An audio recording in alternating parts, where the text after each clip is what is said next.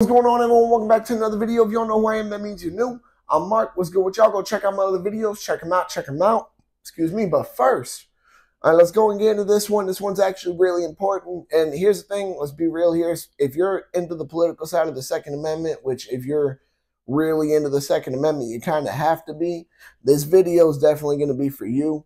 Now, here's the thing. I planned to make this video actually almost a week ago. I've been behind on schedule. I've had a lot of busy things going on. However, this video is important for me to talk about regardless. So, uh, a little bit over a week ago, I, I heard that there was supposed to be an announcement made as of last Friday, which there was, by our genius, we'll say, for not lack of better words, but lack of words that are truthful and won't put me on a list probably. So uh our genius president's idea was to open a new office to quote unquote combat gun violence. Whatever that means. All right now here's the problem with that.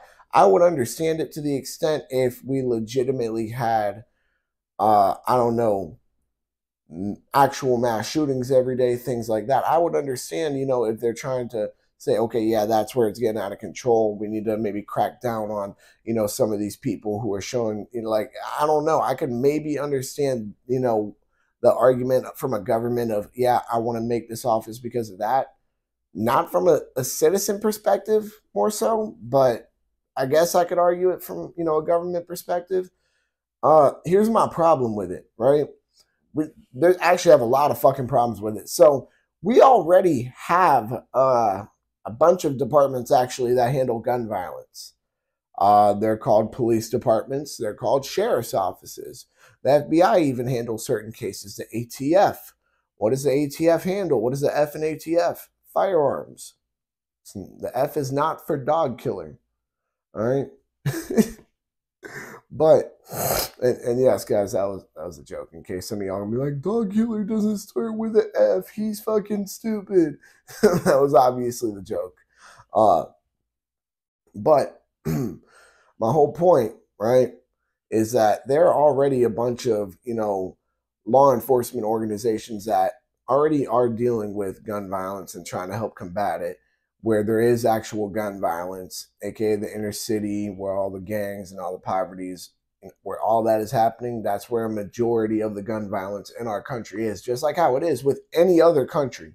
It's not like we're special because of that, guys. It's not like we're special because, oh yeah, it's it's violent in our poverty stricken areas. That's not how, you know, we're not special for that. That's everywhere in the fucking world. All right. So let's get that part out of the way.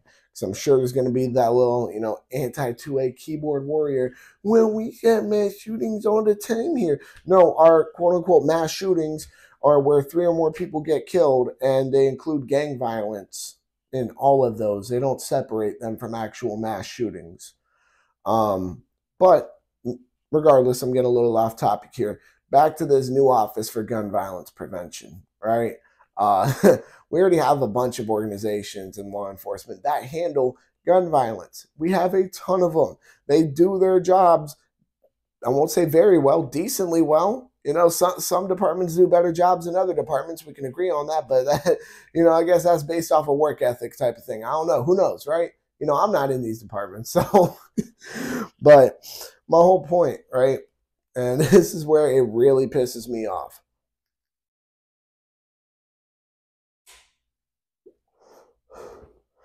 if it's already, you know, to a point that we need a whole new office for this that is also going to be funded by our tax dollars to quote unquote stop a problem that all the other law enforcement agencies that are currently dealing with it couldn't stop. What is to make us believe that this office to combat gun violence is going to actually do that? I, am waiting to hear it because I, I'll be honest, I know a majority of government workers are incompetent. I know for a fact they don't do their job properly. So you're expecting me to believe that just because it's an office under a new name or you know it's a brand new office for whatever that it's automatically going to be doing? No, I don't believe that at all. So I think it's just going to be our taxpaying dollars, uh, excuse me, our taxpayer dollars just wasted. And I think it's honestly going to be a big problem for us because when in all reality, and here's the thing, I'm not a big fan of taxes. All right, one of the one of the key like fundamental ideas that you know caused us to want to get away from you know Great Britain or whatever the fuck it's I don't even remember what the hell it's called at this point. Britain, all right. I don't even remember what the fuck they call themselves at this point. Whether it's Great Britain, Britain, I don't even fucking know. When we when we goddamn kicked their asses and they took the biggest loss of 1776. All right. One of the biggest reasons why was because we didn't want to be fucking taxed as much. No taxation without representation. It's one of the only phrases from school that stuck into my head because I was like, you know what? I don't want people taking my damn money either. All right. So the money that's being taken from me that I'm already not happy about, I'm sure some of y'all can agree with me on that, is now going to have to go to an office that I completely don't care about, don't want to be built, don't think is going to be effective, don't see a reason to have. I, there's a lot of problems here that I'm seeing with this, right? Now, here's where it gets, you know, to another level of problems, right?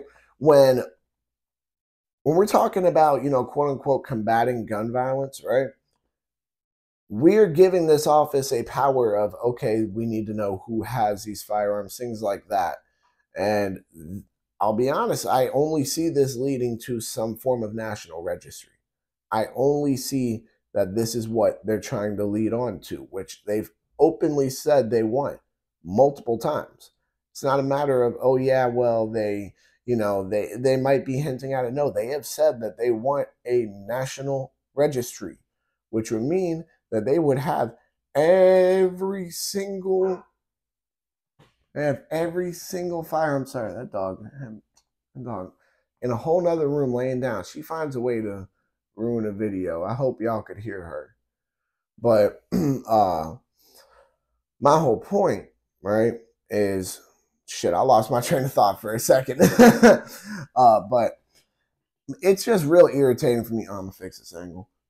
It's real irritating for me because I don't think this agency is going to really do anything. It's it seems more likely it's going to lead to a national gun registry, which has only led to confiscations. They're going to need, you know, I mean, and for most people who don't know what a national gun registry is, it essentially would mean that they would have 100% record of who owns each firearm, where they live, all of these things, even if you got your firearm in a private sale. And I think that's absolutely ridiculous. Now, and I'll even be the person to say, one of my guns I've gotten in private sales. I've gotten I've gotten guns as gifts before. You know what I mean? So it's not like that's a you know that that's that's stupid. If I you know let's say later in life I have a child, right? You know, and I'm like, hey son, your 18th birthday is here. I want to go ahead and gift you this.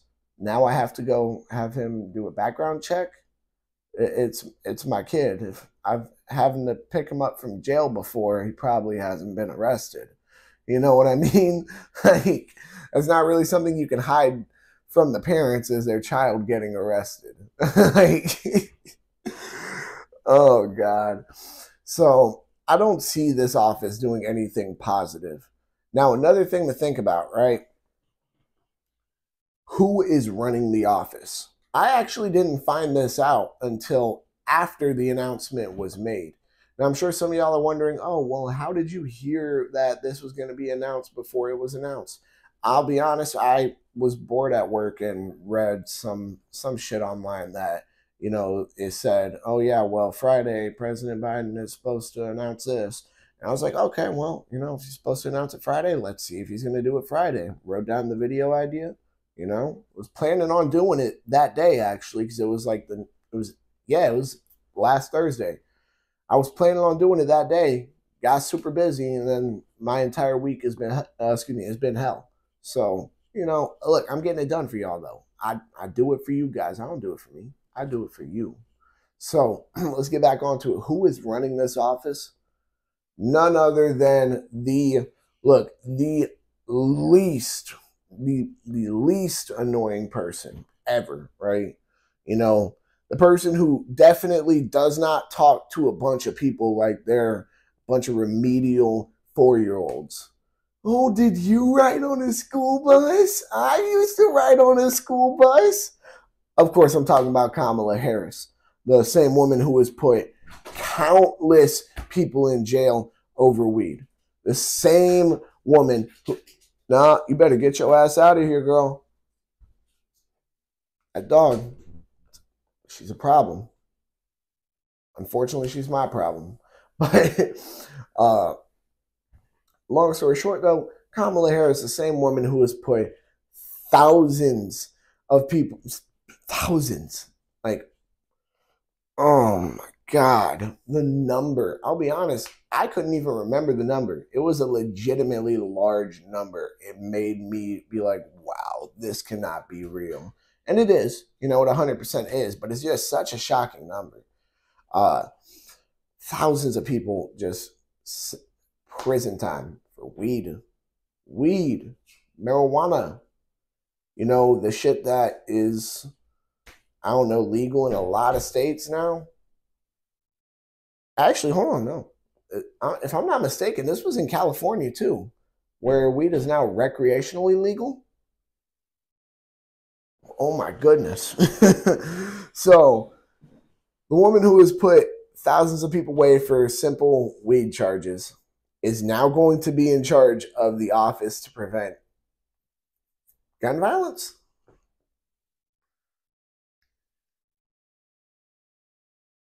Let that sink in. Like, give it a second. Don't, like, that's the thing. A lot of people are like, oh, yeah, what does it have to do with it? It has a lot to do with it. It shows she has a problem with power. It shows she abuses her authority a lot. It shows she doesn't give a fuck about anybody else other than her damn self and filling out whatever quota she wants to have filled out. You know what I mean? So that's the problem here is that what may be actual gun violence might not get labeled as actual gun violence. What isn't actual gun violence might get labeled as actual gun violence.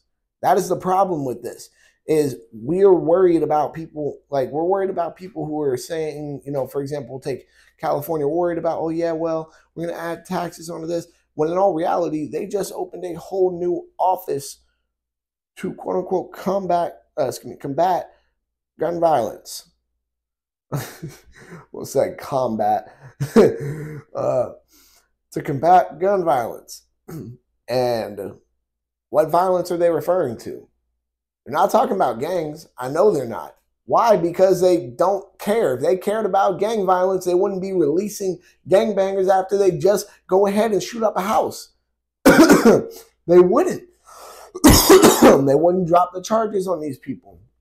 They wouldn't sit there and give them easy sentences. They wouldn't give them bail. They wouldn't do any of these things, but they do. So it's clearly not, you know, the gang violence that they care about what's left? The the rare legitimate mass shootings, the rare ones where it's you know maybe a lone person or you know a group of people who you know their entire objective is to kill as many people as they can you know that that's what you're trying to combat.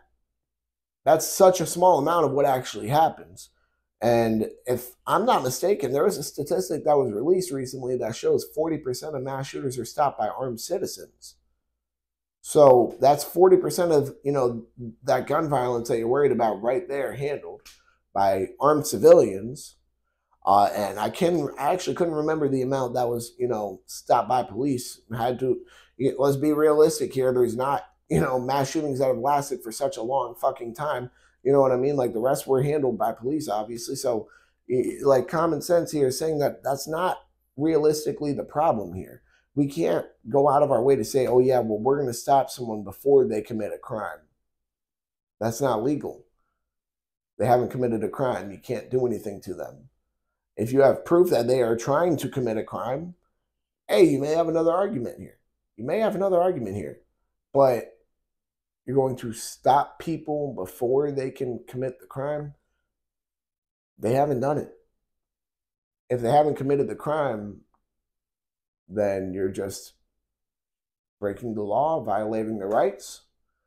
And that's the thing. Let's make this clear. I'm not advocating for any mass shooters or anything like that, obviously. I can't believe I have to even say that. However, I just think this entire office is stupid. It doesn't make sense to me as we already have we already have law enforcement departments that handle gun violence. We already have law enforcement departments that are scouring the internet. looking for, you know, signs, things like that. That they're doing their job. All this is, going to be a waste of taxpayer dollars. All this is going to be is a new reason for them to say, hey, let's push for more gun control. All this is going to be is just another power trip for Kamala Harris. That's all it's going to lead to. I don't see anything else coming to. I don't see any positives coming from this. I don't think any of you guys can see any positives coming from this either. That's the thing here. And I mean, look, if I'm wrong, I'm wrong. I'll be the person to say I'm wrong. I'm a grown man. I'm willing to admit when I'm wrong. But I, I have a good feeling here, and I have a good feeling I'm not wrong. I don't need to make that much of an argument here.